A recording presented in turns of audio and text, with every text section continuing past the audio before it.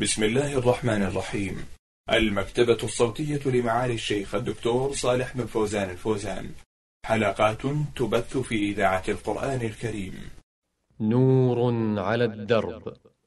برنامج يومي. يجيب فيه أصحاب الفضيلة العلماء عن أسئلة المستمعين.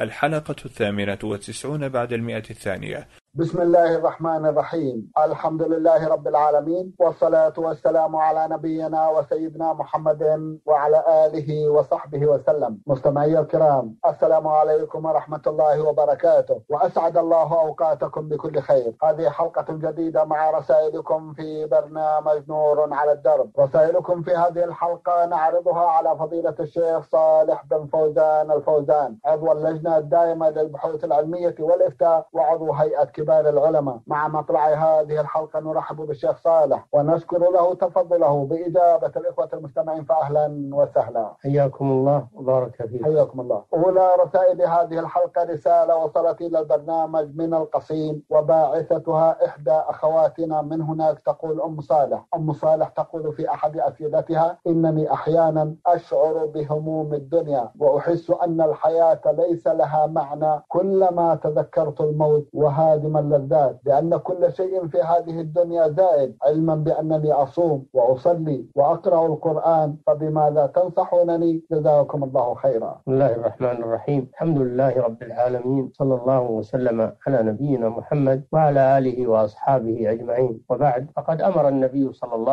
عليه وسلم بتذكر الموت فقال عليه الصلاة والسلام تذكروا هادم اللذات يعني الموت فإنكم لا تذكرونه في قليل إلا كثرة ولا تذكرونه في كثير إلا قلله فتذكر الموت يوجب الاستعداد بالعمل الصالح والتوبة إلى الله والخروج من المظالم ففيه مصالح. والغفلة عن الموت تسبب أن الإنسان يتكاسل عن الطاعات أو يتمادى في المعاصي فيأخذه طول الأمل والاغترار بالحياة الدنيا إلى أن يستمرئ المعاصي ويتكاسل عن الطاعات. لكن إذا وصل التفكير بالموت إلى حد الوسوسة فهذا أمر غير محمود. إذا وصل إلى ما ذكرته سائلة من أنها تشوشت عليها حياتها ترادفت عليها همومها فهذا من الشيطان هذا وسواس. فتستعيذ بالله من الشيطان وترفض هذا الشيء؟ والموت كما قال الله تعالى كل نفس ذائقة الموت الموت لا بد منه ولكن الشأن في الاستعداد للموت تذكر الآخرة توبة من الذنوب بدون أن يدخل الإنسان في متاهات الوساوس والشكوك والأوهام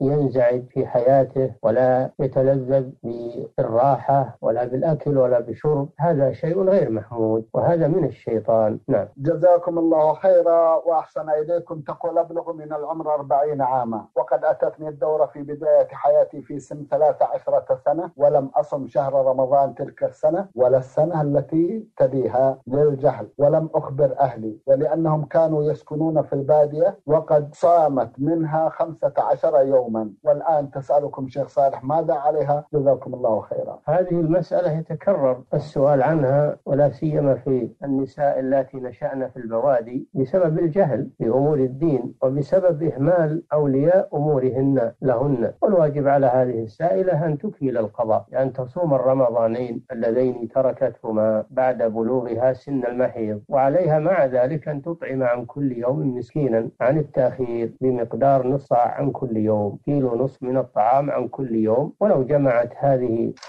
الكفارات اليومية جملة واحدة ودفعتها لفقير أو إلى أهل بيت واحد فلا بأس بذلك.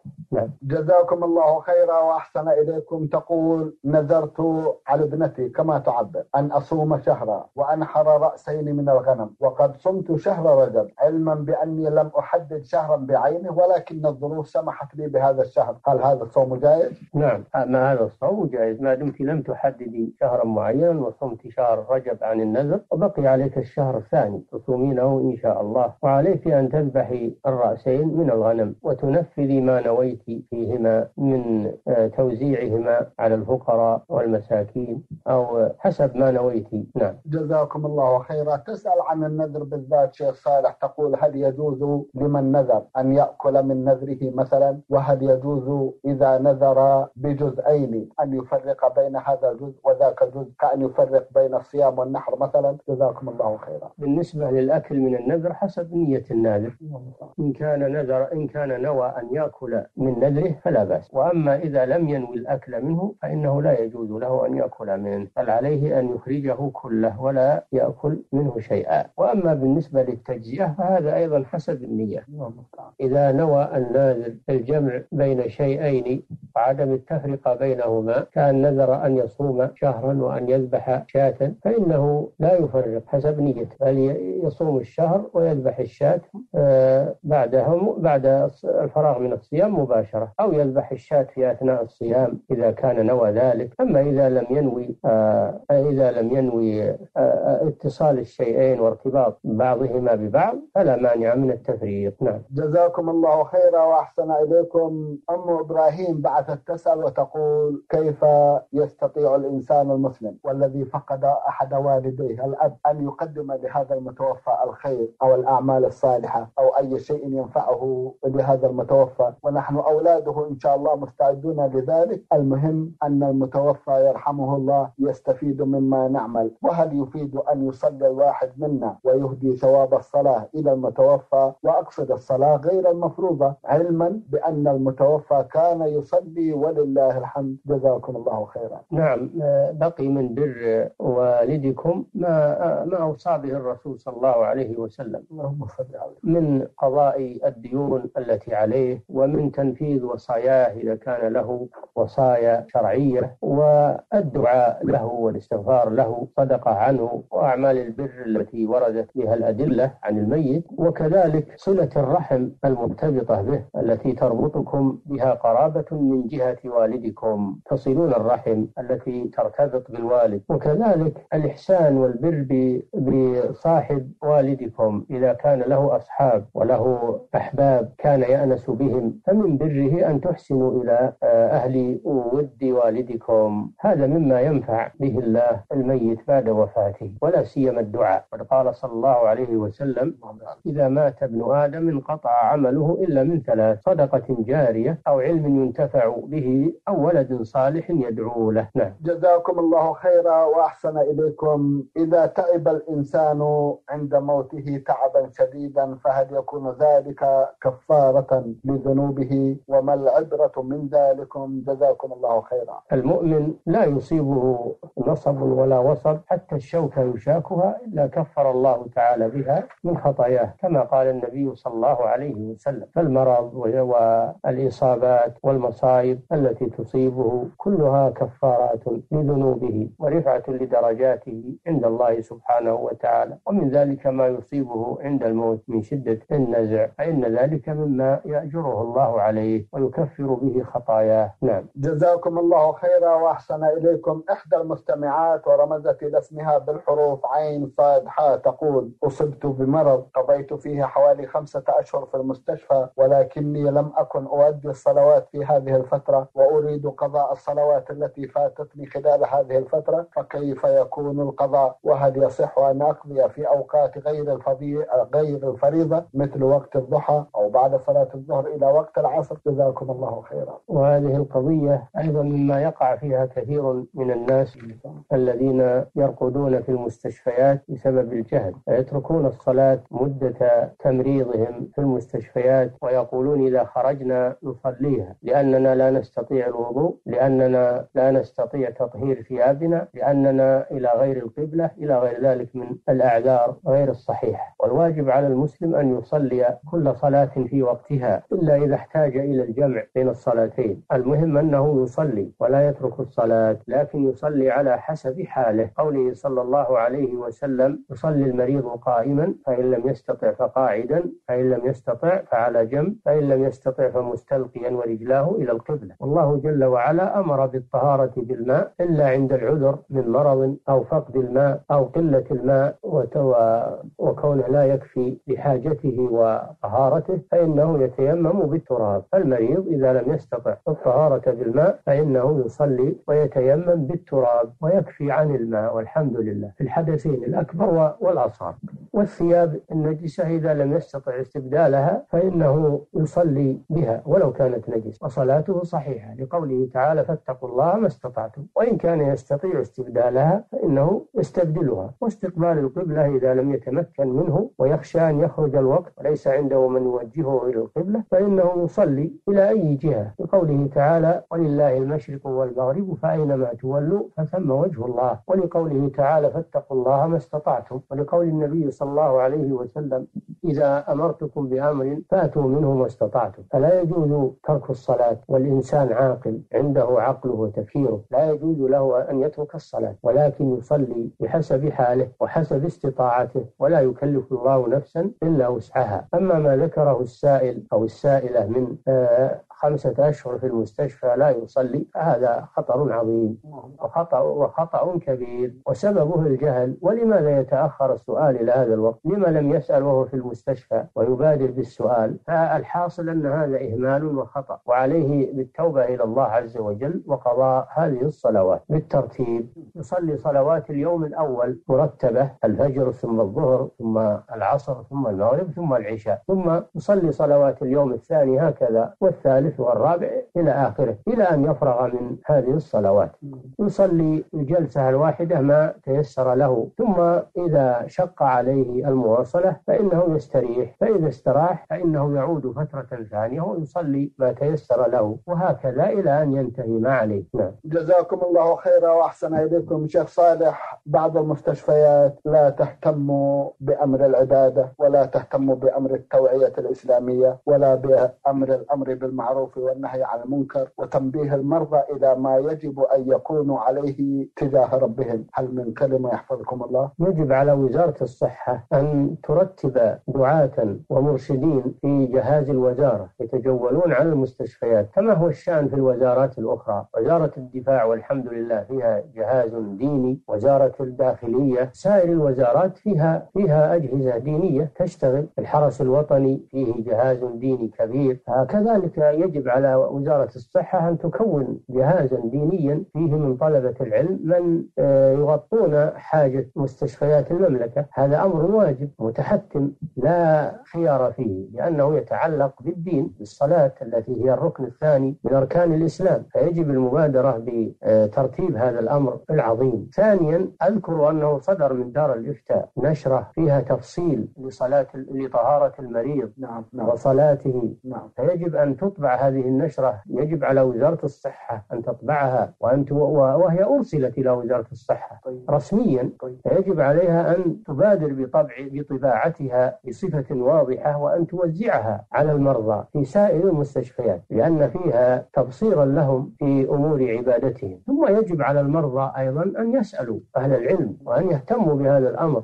يأتيهم الزوار عندهم التلفونات يمكنهم الاتصال بأهل العلم وبطلبة العلم. الواجب أن يهتموا بهذا الأمر. نعم. جزاكم الله خيرا وأحسن إليكم. أيضا هل من كلمة للمستشفيات التجارية شيخ صالح؟ هذا يعم المستشفيات. التجارية والمستشفيات الحكومية. طيب. أن تهتم بهذا الأمر من جميع النواحي. طيب. نعم. جزاكم الله خيرا. هل من دعوة لتصميم المستشفيات على أساس أن تكون فيها قاعة للمحاضرات ومكان ليكون مسجدا للمرضى شيخ صالح؟ هذه أمور تكميلية إذا حصل شيء منها. طيب فهذا شيء طيب. وإذا لم يحصل فليست ضرورية إنما الضروري إرشاد المرضى وهم على سررهم وفي مراقدهم أن يوصل إليهم الخير وأن وأن يدور طلبة العلم عليهم ويتفقدوا أحوالهم الدينية هذا أمر واجب. طيب نعم. جزاكم الله خيرا. كيف تكون توعية النساء في المستشفيات؟ يحفظكم الله. توعية النساء بالمستشفى قصدك النساء المريضات نعم نعم. أو العاملات؟ وليكن للجميع. المريضات كما يكون للرجال. طيب يدور عليهن وعاظ مع وجود محارمهن. أو مع وجود الممرضات عدم الخلوة طيب. فيلقون عليهن المواعظ وهن محجبات ومتسترات طيب. أو يكون في المستشفى آه، مكبر صوت نعم. ويوزع على الغرف ويكون للكلمة وقت يلقيها طالب علم ويصل سماعها إلى بقية الغرف. وأما وأما الممرضات ومنسوبات المستشفى نعم نعم. فأيضا يعمل لهن توعية بواسطة التلفزيون المغلق. طيب بواسطة التلفزيون المغلق. وإذا كان هناك نساء خريجات من كليات الشريعة أو من أصول الدين وهن كثيرات والحمد لله الحمد لله. فليقمن بهذا الواجب. يا الله. نعم. جزاكم الله خيرا وأحسن إليكم. تقول صاحبة هذه الرسالة جزاها الله خيرا. فضيلة الشيخ عندما كنت في المستشفى لمدة شهور كنت أحس بضيق مرارا كثيرا ثم أبكي بكاء كثيرا وأتألم وأحس أنني سجينة هل يعتبر هذا من عدم الصبر؟ وهل إذا بكيت بهذه الطريقة وأحسست بهذا الإحساس يكون لي أجر المرض وما عانيت أم أكون آثمة؟ جزاكم الله خيرا. هذا مرض نفسي. أو وسواس من الشيطان. أو وسواس من الشيطان. يحتاج إلى علاج بذكر الله عز وجل وبالاستعاذة بالله من الشيطان الرجيم. وإذا تيسر طبيب نفساني أيضا آه، يصف علاجا نافعا. لهذا المرض فشيء طيب لأن الله ما أنزل داء إلا وأنزل له شفاء علمه من علمه وجهله من جهل نعم. جزاكم الله خيرا. قد حصل هذا منها شيخ صالح وهي منومة في المستشفى ويبدو أنها خرجت وتسأل هل كانت آثمة أو أن ذلك ضمن المرض شيخ صالح؟ هذا مرض اللهم نفسي لا تأثم عليه الحمد لله. ولكن عليها أن أن تبذل الأسباب نعم. لزواله كما ذكرنا. جزاكم الله خيرا وأحسن إليكم. ما حكم الشك في شخص دون التحدث بهذا الشك إذ لم يعلم به أحد. جزاكم الله خيرا. نعم. ما حكم الشك؟ في شخص دون التحدث بهذا الشك لأي أحد. هل يكون الإنسان آثما حينئذ؟ جزاكم الله خيرا. هذا من باب سوء الظن. فالأصل حسن الظن بالمسلم وعدم سوء الظن بالمسلم. والله جل وعلا يقول يا أيها الذين آمنوا اجتنبوا كثيرا من الظن إن بعض الظن إثم ولا تجسسوا ولا يغتب بعضكم بعضا. فسوء الظن بالمسلمين منهي عنه. إلا من تبين منه شيء واضح في المخالفة فهذا يعامل بحسب ما ظهر منه. أما إنسان لم يظهر منه شيء الأصل في المسلم العدالة وحسن الظن به. ومن ظن بالمسلمين ظنون السوء من غير أن يبدر منهم شيء فإنه يأثم على هذا الظن. لأن الله نهى عنه. نعم. جزاكم الله خيرا وأحسن إليكم. عندما يخطئ الشخص أثناء قراءته للفاتحة في كلمة هل يكرر هذه الكلمة حتى ينطقها صحيحة أم يعيد قراءة الفاتحة من أولها؟ وذلك في أثناء الصلاة. يعيد الآية أو الكلمة التي حصل فيها الخطأ ويصححها ولا يعيد الفاتحة كلها. نعم. فضيلة الشيخ أنا ألبس رداء واسعا يغطي الرأس والأيدي معا في الصلاة ولكن عندما أكبر تكبيرة الإحرام أو إحدى التكبيرات فإنه يرتفع هذا الرداء مع ارتفاع يدي للتكبيرة فيغطي نصف وجهي وبعد أن أنزل وبعد أن أنزل يدي من التكبيرة يعود لموضعه الطبيعي. هل يؤثر ذلك على الصلاة؟ إذا ترتب على رفع اليدين ارتفاع الثوب وانكشاف انكشاف القدمين أو انكشاف شيء من جسم المرأة فهذا لا يجوز. رفع اليدين عند تكبيرة الإحرام أو عند الركوع أو عند القيام من الركوع سنة. إذا ترتب عليه محظور انكشاف شيء من جسم المرأة فإنها لا ترفع يديها. وإنما ترفع يديها إذا كان الساتر ضافيا على جسمها. نعم. جزاكم الله خيرا وأحسن إليكم المستمع هادي بن يحيى مهدي من الرياض بعث برسالة وضمنها جمع من الأسئلة في أحدها يقول الذي يأتي إلى الصلاة أثناء جلوس الإمام للتشهد الأخير فأيهما أفضل؟ يجلس معه أم ينتظر الجماعة الثانية مع تأكده من أن هناك جماعة ثانية؟ الأحسن أن ينتظر الجماعة الثانية ما دام أنه أنه متيقن أن وراءه أناس يصلي معهم فينتظر. أما إذا لا إذا لم يعلم أن هناك أناسا سي-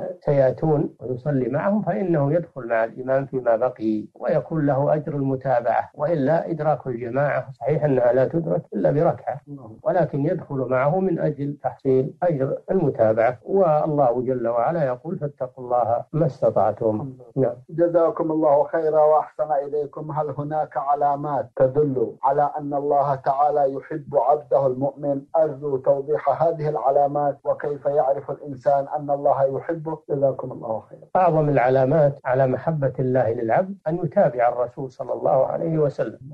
قال تعالى آه، قل إن كنتم تحبون الله فاتبعوني يحببكم الله ويغفر لكم ذنوبكم. هذا أعظم العلامات. متابعة الرسول صلى الله عليه وسلم دليل على محبة الله جل وعلا على محبة العبد لله جل وعلا. وكذلك من علامات محبة الله أن تحب ما يحبه الله عز وجل. فإذا كنت تحب الطاعات وتحب الصالحين وأولياء الله. فهذا دليل على محبة الله سبحانه وتعالى. نعم. جزاكم الله خيرا وأحسن إليكم. إحدى المستمعات رمزت لاسمها بالحروف نون عين ألف. ابنة الإسلام ذات النطاقين تقول ما حكم لبس العباءة على الكتف في الصلاة؟ وهل علينا شيء في وضعها على الكتف؟ وأيضا إذا وضعنا عليها جلباب يصل إلى نصف الجسد. لا أعلم ما يمنع من وضع المرأة العباءة على كتفها. لا سيما إذا كانت خالية عن الرجال وتصلي في بيتها فلا أعلم ما يمنع من ذلك. المهم أنها تستر جسمها سترا كاملا ما عدا الوجه في الصلاة. إلا إذا كان عندها رجال غير محارم فإنها تستر وجهها وجميع جسمها. نعم. جزاكم الله خيرا. صلاة الصبح قبل شروق الشمس هل هي صحيحة؟ صحيحة لأنها وقعت في وقتها لكن الأفضل المبادرة بصلاة الفجر في أول وقتها لأن النبي صلى الله عليه وسلم كان يصليها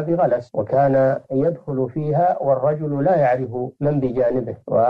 وأيضا أخشى أن هذا الذي يصليها قبل شروق الشمس أنه ترك الجماعة. إذا كان عنده جماعة أو مسجد قريب فإن ترك الجماعة آه لا شك أنه محرم وأنه خطيئة وأنه يأثم عليه. لكن لو قدر أنه حريص على حضور الجماعة ويحضر الجماعة ولكن في بعض الليالي غلبه النوم ولم يستيقظ إلا عند شروق الشمس أو بعد شروق الشمس أو مع شروق الشمس فإنه يصلي حال ما يستيقظ. قوله صلى الله عليه وسلم من نسي صلاة أو نام عنها فليصليها إذا ذكرها لا كفارة لها إلا ذلك. نعم. جزاكم الله خيرا وأحسن إليكم شيخ صالح. في الختام أتوجه لكم بالشكر الجزيل بعد شكر الله سبحانه وتعالى على تفضلكم بإجابة الأخوة المستمعين. وآمل أن يتجدد اللقاء وأنتم على خير. مستمعي الكرام وكان لقاؤنا في هذه الحلقة مع فضيلة الشيخ صالح بن فوزان الفوزان. عضو اللجنة الدائمة للبحوث العلمية والإفتاء وعضو هيئة كبار العلماء. شكرا للشيخ صالح. وأنتم يا مستمعي الكرام شكرا لحسن متابعتكم. ونحن نرحب برسائلكم على عنوان البرنامج. المملكة العربية السعودية الرياض الإذاعة. برنامج نور على الدرب. مرة أخرى.